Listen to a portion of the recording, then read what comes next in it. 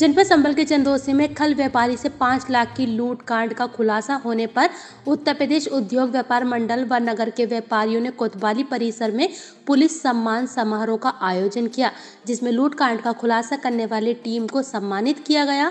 जिलाधिकारी संजीव रंजन और पुलिस अधीक्षक चक्रेश मिश्रा को स्मृति चिन्ह व शॉल उड़ाकर सम्मानित किया। CO Alok Sindhu, CO Sambhal Jitendra Singh SOG और सर्विलांस टीम को माल्यार्पण कर शॉल उड़ाकर सम्मानित किया। अर्धसैनिक बल के सीओ और इंस्पेक्टर को भी सम्मानित किया गया।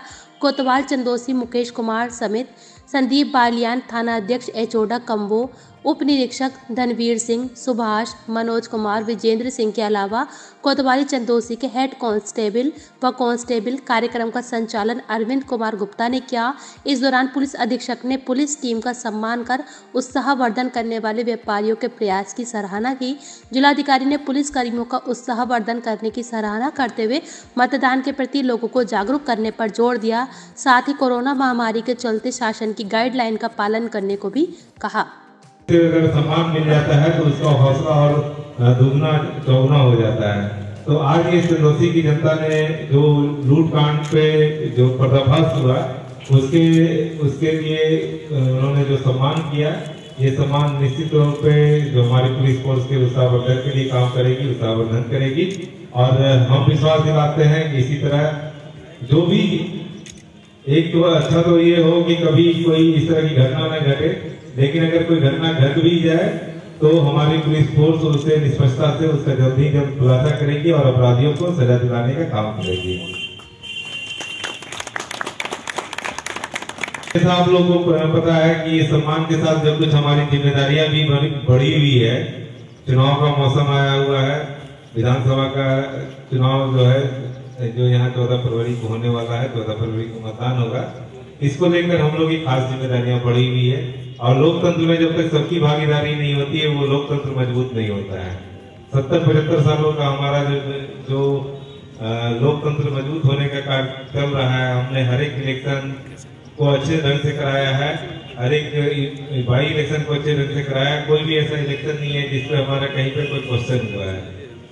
इसी चीज़ को करने के लिए जो जनता की भागीदारी है, उसको सुनिश्चित कराना ज़रूरी है। तो आज इस अवसर पे जो उपस्थित है हमारे सभी व्यापारी बंधु, आप लोग सभी एक समाज का हिस्सा है और उस समाज में जब ये मैसेज लेकर जाएँगे कि हर हर एक व्यक्ति जिसके पास, जिसका वोटर लिस्ट में नाम हो, जिसको मत देने का अधिकार हो, वो हर एक व्यक्ति चाहे कुछ भी हो जाए, कोई भी कितना भी बड़ा कार्य आ जाए, कितनी भी बड़ी कोई दुविधा हो, लेकिन वो उस दिन के लिए वोट देने ज़रूर निकले।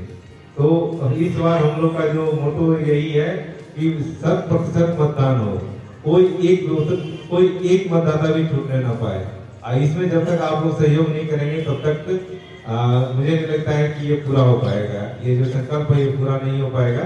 तो इसके लिए आज आ, आज से आप लोग ये ये इसको मान दें अपने इसमें कि हमें हर एक स्तर पे मतदाताओं को जागरूक करना है और जागरूक करके उसे लेके आना है। आपके आस पड़ोस में जो ऐसे व्यक्ति हों जो कुछ ऐसे लोग हो गए हैं जो कि धीरे धीरे मतदान से मतदान को लेकर जो उसको एक इच्छा, कोई इच्छा नहीं बच गई कि मतदान कराएँ, मतदान करें। बहुत सारे जैसे शहरों में देखने को आ रहा है कि उस दिन उसको छुट्टी का समय मान दे रहे हैं और वो इतनी जमक नहीं बोल देते हैं कि जाके बूथ तक पहुँचे। इस बार हमारी पूरी कोशिश होगी कि हर एक व्यक्ति, चाहे वो अमीर हो, गरीब हो, और जब ये घटना हुई थी तो ये दुर्भाग्यशाली घटना थी।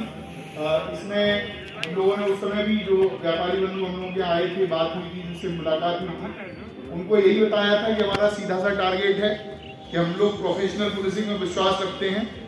हम इस बात की गारंटी नहीं ले सकते कि हम आज घटना खुल जाएगी या कल उठे, कल खुलेगी, लेकिन हमने ये कहा था कि जो जो मुलजिम पकड़े जाएँगे, वो सही मुलजिम पकड़े और मुझे इस बात की बहुत खुशी है और अपनी टीम पर बहुत गर्व है कि उन्होंने सही लोगों को पकड़ा और कल जब ये मुठभेड़ हुई, पुलिस मुठभेड़ में ये पाँच अपराधी पकड़े गए तो उसके बाद में ए सी एस सर का भी फ़ोन आया ए डी सर का फ़ोन आया डीजीपी सर का फ़ोन आया। उन लोगों ने भी इस बात की काफ़ी सराहना की, इस कार्य की, उन्होंने बहुत बधाई दी और उन्होंने, उनकी तरफ़ से मैं ये कहना चाहूँगा कि उन्होंने भी विश्वास दिलाया कि यहाँ पर चंदौसी शहर में और संभल ज़िले में हम लोग जो शांति व्यवस्था है उसको कायम रखने के लिए तत्पर हैं। उसके लिए हम लोगों को जिस तरह का भी कार्य करना पड़ेगा, उसके लिए हम लोग समय तैयार हैं और रेडी हैं। आप लोगों का बहुत बहुत धन्यवाद जो आप लोगों ने आज इस कार्यक्रम में जो जो लोग उपस्थित हुए। साथ में मैं ये कहना चाहूँगा कि चुनाव का समय चल रहा है तो चुनाव के समय में हम लोग इस बार एक अलग तरह का चुनाव है, क्योंकि साथ में कोरोना भी है तो हम लोगों को कोरोना का ध्यान रखते हुए ज़्यादा से ज़्यादा संख्या में मतदान करना है। जो हमारे बीएसएफ के साथी यहाँ पर आए हुए हैं अपने अपनी पोस्ट छोड़कर यहाँ पर हम लोग का चुनाव सक्षम कराने के लिए मैं आ, उनको आप लोगों की तरफ़ से धन्यवाद देता हूँ कि उन्होंने अपना दिल रात जाग के वो यहाँ पर लोगों के मन में जो भय किसी के अंदर ना आए उसके लिए प्रयास कर रहे हैं। और पूरा जो पुलिस फोर्स है चाहे जिस भी संगठन के हों मैं उनसे आपको ये विश्वास दिलाना चाहता हूँ कि आप लोग निर्भय होकर अपना मतदान करें। और पूरा पुलिस प्रशासन आपके साथ रहेगा। इस तरह की अगर कोई घटना आगे होती है तो हम लोग उसको भी इसी तरह के तरीके से ईश्वर की कृपा रही तो बहुत अच्छे से आप लोगों को सुरक्षा प्रदान करने में सफल रहे हैं धन्यवाद।